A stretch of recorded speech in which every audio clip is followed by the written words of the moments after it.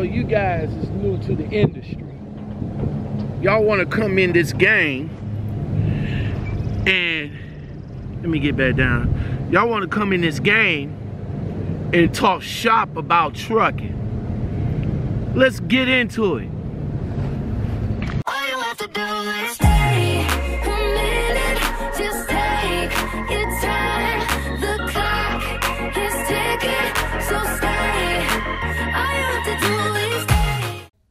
Yo, what's going on, y'all? Lockout man, right here. Coming back at you guys with another video. What's going on? Hey, y'all, y'all see it. Y'all see it. I'm still uh the, the t-shirt is comfortable. You know what I'm saying? Something to wear around the house. You know what I'm saying? Representing J&R Schugel. You know what I'm saying?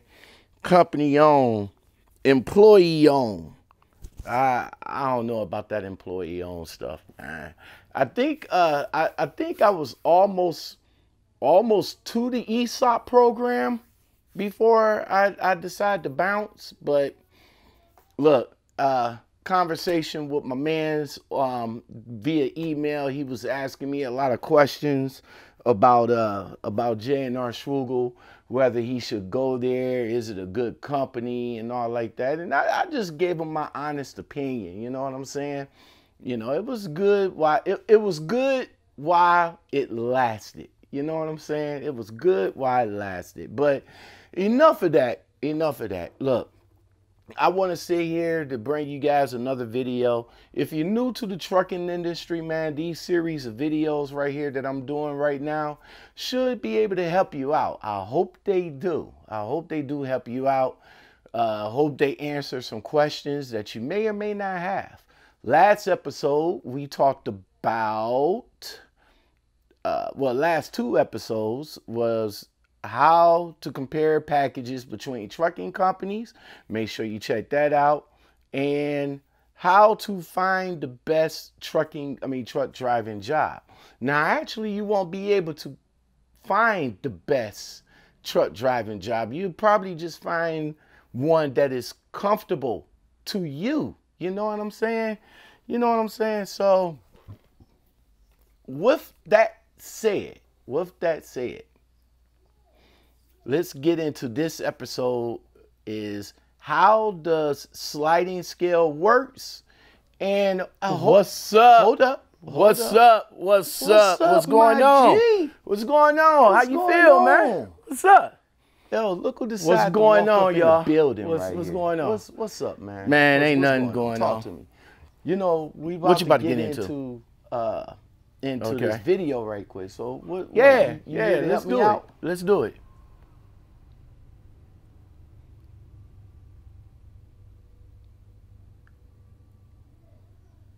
Okay, that's what's up. That's what's up. He's here to help me out. So I tell you what, I'm going to go ahead and let him take the lead on this, and um, lock out, man. Go go ahead and uh, take the lead on this, man. What what you want? Well, check it out, y'all. I mean, you wanna tell the I, I, I I didn't want to come in and infringe on my dude right here, but you know, It is what it is, man. So check it out. Some trucking companies have established a sliding scale as a way to pay their over the road drivers. Typically, a sliding scale pay will pay drivers a different CPM depend on the length of haul that they are on. The longer the length, the lower the CPM. The shorter the length, the higher the CPM. Since the driver's pay under a sliding scale change based on the length of haul.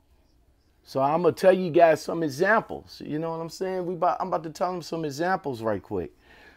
So here's an example of a potential sliding scale, right? Sliding scale to me is I, I don't know. It's not I don't I don't like it. I don't like sliding scale. You I don't like it either. I don't like it. I, I just don't. But here's an example. Zero to 100 miles is mm-hmm. 52 cent. 100 to 200 mm-hmm. miles is 50. 200 to 300 miles is 48. 300 to 400 miles is 46. 400 to Right. 600 is 44. 600 or more miles is 42. So y'all like that? It is hot. Yeah, man, Is it's it burning up, dude. But I'm all right though. But anyway, anyway, um, the the less miles that you do, the more Right. the more money you make. That's the consensus right there. So let's say you get a shitty uh, load that's only going like maybe a hundred to maybe a hundred to two hundred miles that that ain't no money. But they trying to compensate you by giving you more money or more CPM because of the less miles that Right. you that you rock. I I don't think I I don't think that's I don't know. If you're gonna give me Give me 52 cent a 52 mile, cent. give me 52 cent a mile. Look, Go- go 52 ahead. cent, I'm rocking that. I likes that. Don't don't just give me a short miles and give me a lot of money. Give it to me across the board. Recruiters of the trucking companies that will offer sliding scales will normally tell drivers that sliding pay scales are an advantage because they compensate the driver more for a shorter length of hauls. That's see what recruiters is trying to do. They they trying to just throw in that extra stuff that try to make the pot sound good. You know what I'm saying? And it is crazy how they they do that because it's like okay well for the low miles that you run you you'll get the incentive for getting paid a lot it, that, it, it's not that's not even it that's not even it look let me tell you something if you're going to give me the if you're going to give me the cpm give me the cpm if you're going to give me the cpm at what at, at what it is 52 cent give me the 52 cent across the board you know what i'm saying so next up, right quick. Next up, right quick, is how does banded pay scale works? All right. Know, I'm I'm about to take this right quick. I'll, I'll take the lead on this. All right. This type of pay scale is not as common within the transportation industry, right? Because I never heard of it. You heard of it? You ain't heard? it? Nope, I ain't heard of it. Heard of it.